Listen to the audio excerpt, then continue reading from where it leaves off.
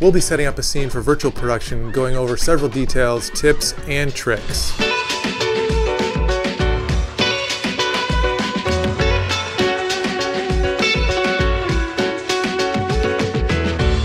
Filming in locations like this are more and more possible, and it's not hard to assemble if you know your way around Unreal. Epic is constantly growing its tool set and knowledge base for everything virtual production. You can see on their website they have a whole dedicated write-up, lots of things to click and articles to read, videos to watch, links, um, virtual production pipeline, and if you go over to YouTube, Unreal's page has a growing number of virtual production videos, including this in-camera VFX tutorials playlist where you can find a plethora of details for how to set up a virtual production. If you're new to virtual production, here are some considerations to setting up your scene. First I'm going to start in Photoshop where I have an illustration here of the stage and you can see um, we have the sound stage here which would be practical elements, the LED wall or volume, and then the virtual stage where Unreal would take over. And it's good to talk with your team and have a plan for what's going to be practical and what's going to be virtual and where that line is going to be. In order to do this, you need the dimensions of your stage and your LED wall. This will help us later in Unreal when we actually put in the stage and the LED wall into our engine with some practical elements and some stand-in actors so we can see exactly what things will look like on location. In the Epic Games Marketplace today we're going to be using some free content, free for the month. I saw this Gladiator Arena, uh, which is pretty rock solid, awesome. Uh, we'll jump into that. And we're also using these posed humans uh, by Epic Games. It's free content on the marketplace as stand-in actors as we're composing our shots. So once you get your once you get dimensions from your stage that you're going to be actually filming on, you can build out the stage here in Unreal. And typically that's like an nDisplay setup. But for right now, I'm just going to build a simple little blueprint that contains all that information. So you can see I've already done that here. Um, basically just right click, blueprint class, create click on actor and it creates a new blueprint. So delete that for now. Click on viewport inside this blueprint and you can see I dragged and dropped um, the meshes in here into this blueprint and now I have the stage dimensions. You can see the LED wall. I've got a material on that already. Uh, it's just a glass material so we can see through it when we put it into our scene.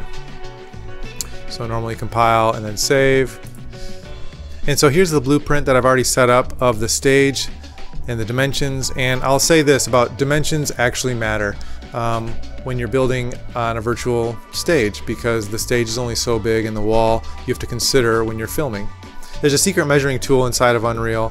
If you go up here in the top, uh, change the perspective to top, uh, you can middle zoom in, middle click. So this is the stage, it's selected, and I middle clicked and dragged, and this is 920 centimeters, and that converts to 30 feet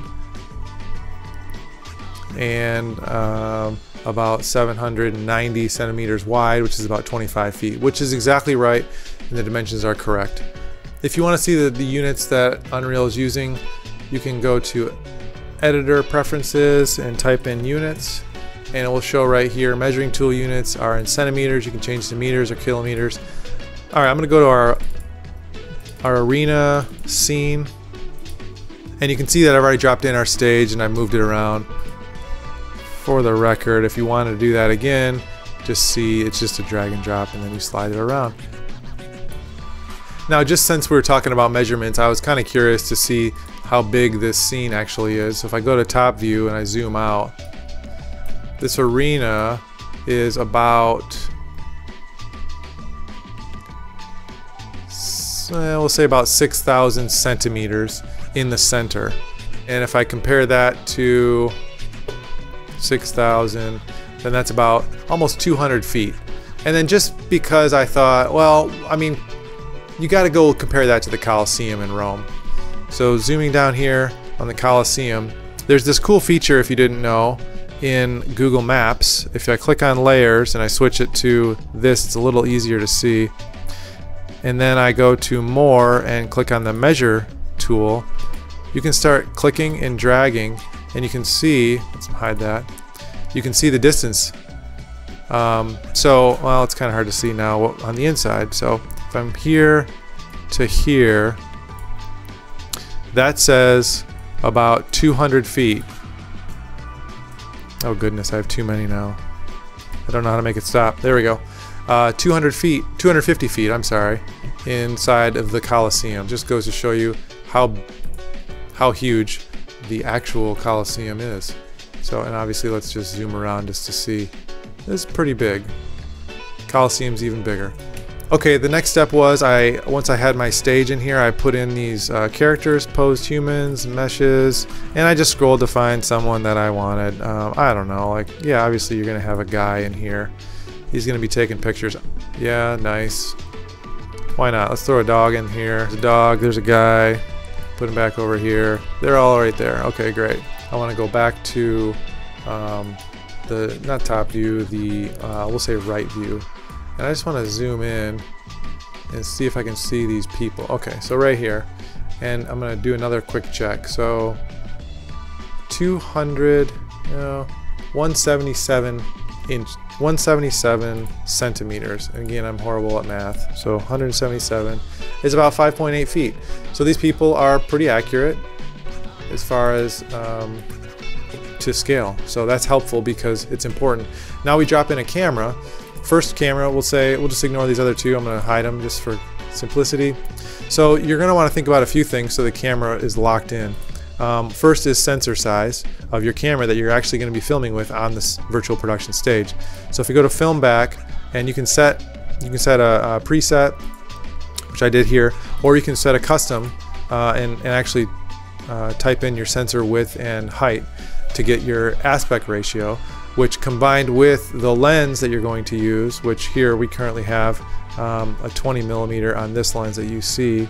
But if I, let me pilot this camera and I tilt up, you can see the edge of the LED wall right here, that line. If I select it, it's a little bit easier to see that, that outline around it.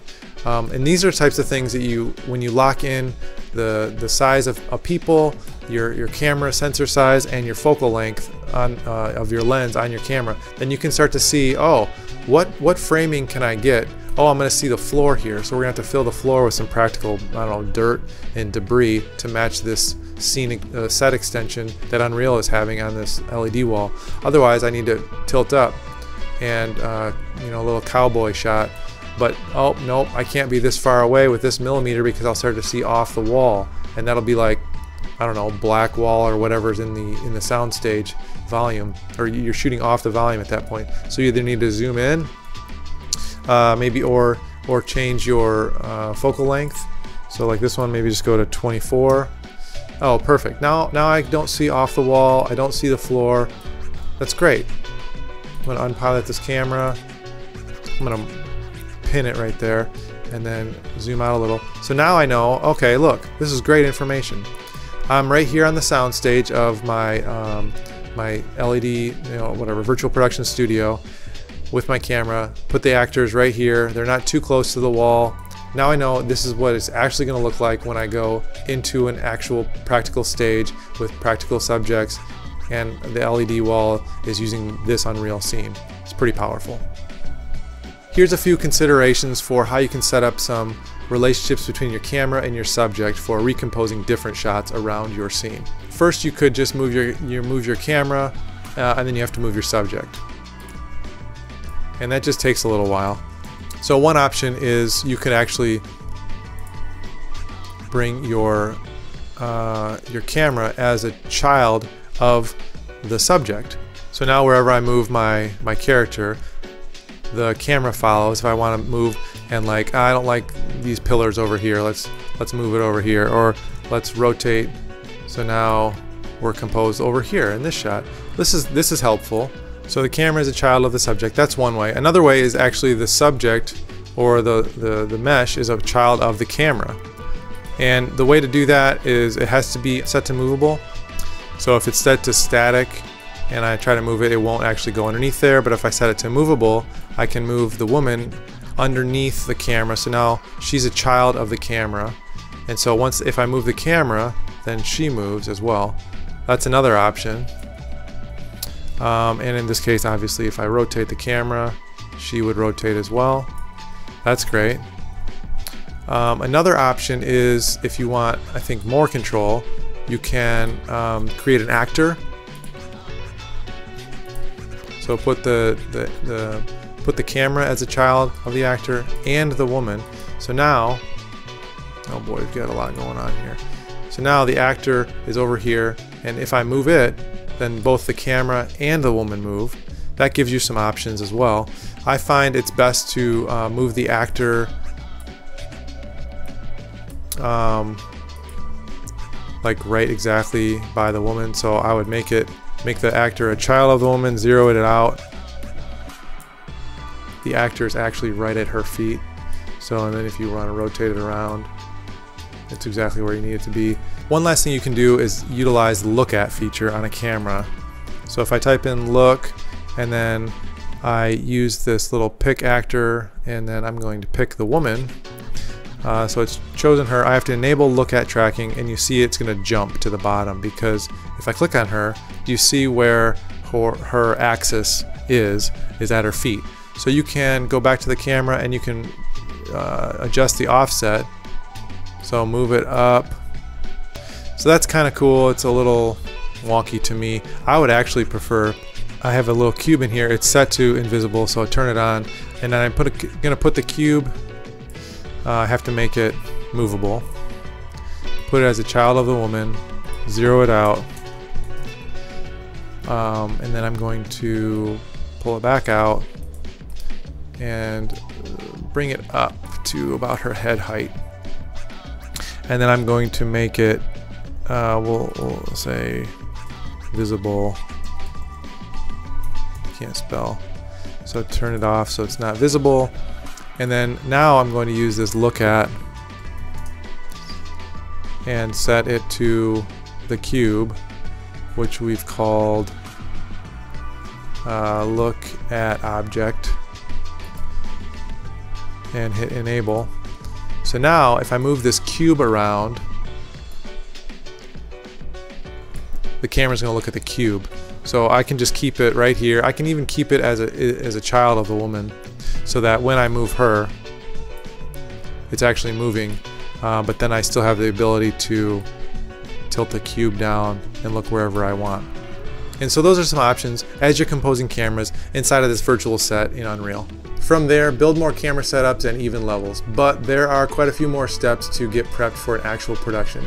But that's the goal, get on an actual stage and do some filming. I hope you found this helpful. If you did, leave a comment below or a like. Subscribe for more content like this. We'll see you next time.